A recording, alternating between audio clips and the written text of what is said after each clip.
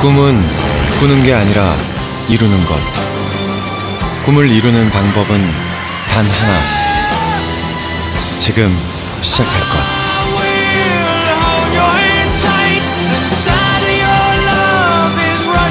PC를 꺼내고 싶은 날, 지금 하세요.